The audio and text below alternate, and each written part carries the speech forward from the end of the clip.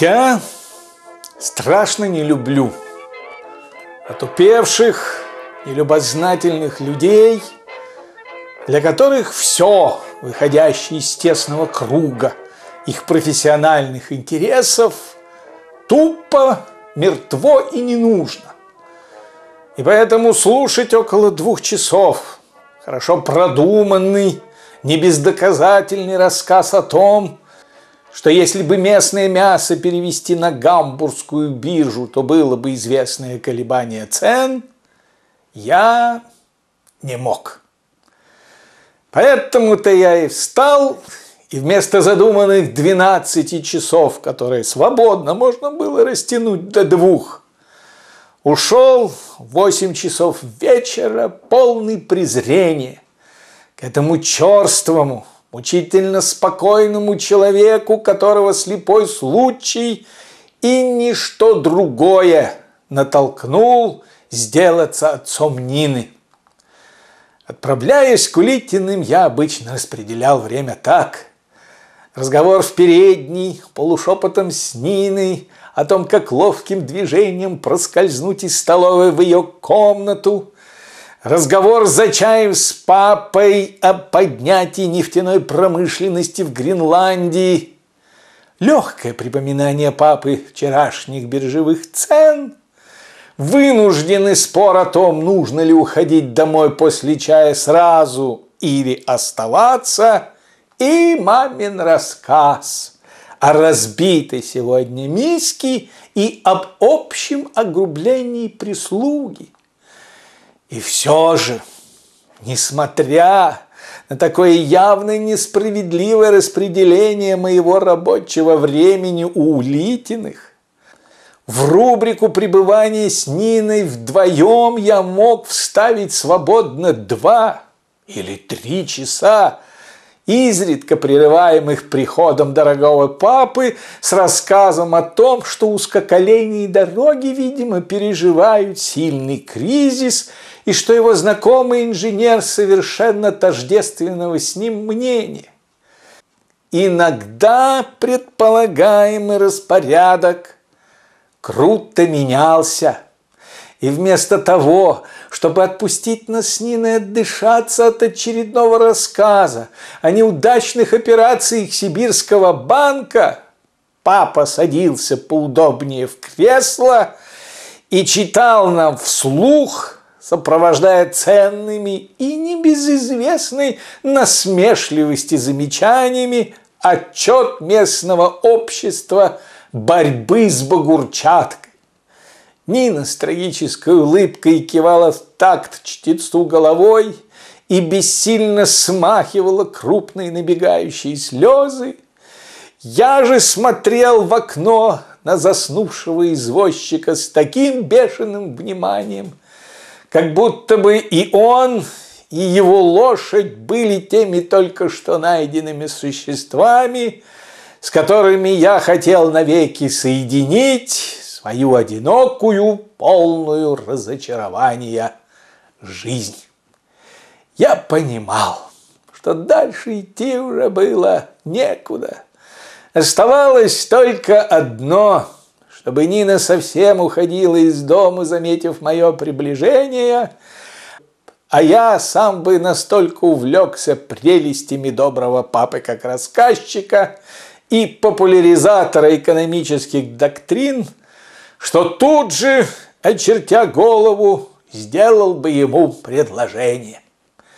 Поэтому-то я и пошел к Лухину. Видишь ли, задумчиво произнес Лухин. Я, собственно, не знаю, чем я тебе здесь могу быть полезен. Если ты хочешь предложить убрать этого человека, то я, наверное, не согласился бы. Ты ведь прекрасно знаешь, что моим очередным делам и литературным связям сильно бы помешала бессрочная каторга. Да и не меньше помешало бы и заранее обусловленное сроком. Если бы я просто поджег дом Улитиных и заставил бы старика пережить настолько сильное ощущение, чтобы он или онемел, или просто настолько обгорел, что твои взаимоотношения с ним свелись бы исключительно к переговорам с бюро похоронных процессий. «Делай, что знаешь», – уныло простонал я. «Только пойдем со мной к Улитиным. Я хоть один вечер поговорю с Ниной, а ты в то время будешь говорить с папой. Говори, о чем хочешь. Захвати сборник тригонометрических задач на конкурс. Заучи наизусть несколько технических названий. Только займи ты этого зверя. Наговори обо мне кучу лесных вещей, и я тебя озолочу. Ну, ну, озолоти, пожалуй, мне все равно, равнодушно заметил Лухин. Только как же мне тебя расхваливать? Ну, ну как, как, ну не знаю, ну конечно не настаивай на том, что я могу приподнять одной рукой восемь пудов. Или что из меня мог бы выйти превосходный станционный жандарм. Или что в моем лице русские фальшивомонетчики потеряли достойного теоретика. Что хочешь, говори, только будь громоотводом. Лухину по-видимому, сильно понравилась эта незатейливая роль. И он скоро согласился. Идем. Буду. Весь заряд электричества приму сюда. И он показал на то место между грудью и желудком, куда, по его мнению, всякий добросовестный громоотвод прячет получаемое им электричество. Когда же мы проходили мимо одного знакомого ресторана по пути к Кулитиным, Лухин вдруг толкнул меня в плечо и подмигнул на вход. Ну, как это говорится, громоотвод плавать любит. Ну, вообще-то я в первый раз, скромно возразил я, слышу о таких свойствах этого незатейливого прибора. Ну, если уж тебе очень хочется, то зайдем. Плавал громоотвод с искусством опытнейшего спортсмена до десяти часов вечера.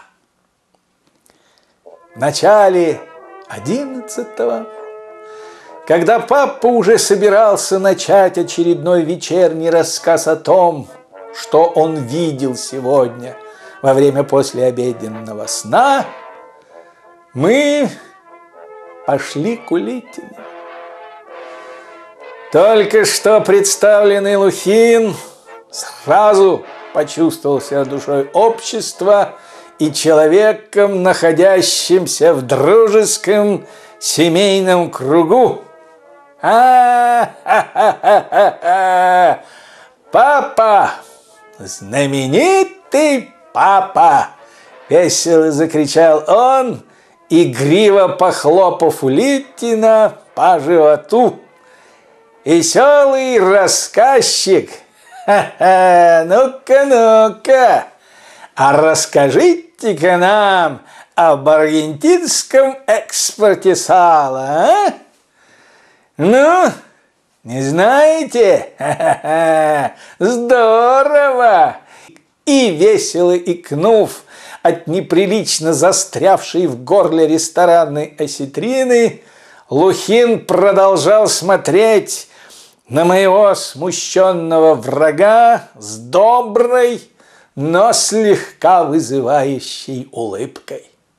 А Миша-то, а? «Миша!» И он толкнул меня пальцем. «Все рассказывал о вас!» Сядет, бывало, говорит, за стол и рассказывает. Часа три битых, говорит.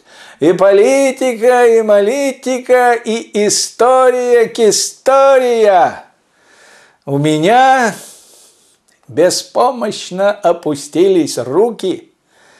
Папа Улитин сумрачно рассматривал обои, мало поддаваясь жизнерадостному настроению Лухина. Почувствовав себя окончательно хозяином положения, тот шагнул, прибегая к поддержке незатейливой улитинской мебели и обратился к Нине. Вот, она богиня моего друга. Чай хочется пойти, поворковать друг с другом, обняться, поцеловаться, сладким словом обмолвиться. Смотрит, небось, на нас и думает, посидели бы вы здесь, старые дураки, поговорили бы с друг с другом, а мы бы уж нашли, что делать. Старые вы, мол, идиоты. Извините, сухо произнес обескураженный папа. Но мне почему-то кажется, да чего уж там кажется, весело махнул рукой Лухин. А чему же кажется, старые мы с вами для них, никудышние ослы. Мне думается, что ты немного Попробовал я робко втереться в лухинский монолог, что ты немного... Ну что ты, что я, что мы? Презрительно ласково кинул Лухин. Тоже мне, нюня. Другой бы взял девушку за руку, отвел бы в комнату, переговорил бы, что надо, а ты тут стоишь олухом, тоже мне жених. Идите, мы уж тут с папашкой займемся. Виноват, холодно произнес Улитин. Это кто здесь папашка? Кто жених? Как кто папашка? Фыркнул, затрясясь от смеха Лухин. Да разве кто сомневался? Или был грешок?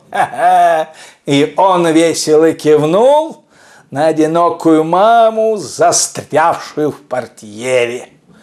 «Это что ж здесь такое?» Вдруг сорвался с места папа. «Это вы кого же привели сюда?» «Сам пришел!» Деловито заметил Лухин. «Дай, думаю, выручу приятеля!» Сам бывал в таких положениях. Придешь, бывало, папочка с мамочкой слова сказать не дадут. Лухин, жалобно простонал я, Лухин. Ну что, Лухин, Лухин, огрызнулся Лухин и вдруг, взглянув на меня с непонятным чувством возмущения, обратился к Нине. То есть это я вам скажу, черт знает что, стоит, слюни распустил, в кабаке душа на распашку, чуть что, стаканы бить. Женщина из его комнаты не выходит, а здесь распустился, стоит тюря такая. Ниночка густо покраснела и, упав на стул, заплакала горячо и надолго. Папа потянулся к звонку. Когда же мы вышли, отнесясь презрительно к устаревшему институту прощания, Лухин уже на улице вдруг обнял меня – в приливе какого-то радостного сознания, хорошо сделанного дела, и, засмеявшись, спросил, «А? Ну, видел, как надо держаться с этими людьми? Сознайся сам, будет он теперь с тобой разговаривать по три часа подряд. Не будет, глухо подтвердил я, чувствуя лухинскую правоту. Теперь точно не будет то-то. А ты, Громат, вот, Громат, вот, весело проговорил Лухин. Вот, брат, как надо дела делать. Да ты, кажется, сердишься. Вот, чудак.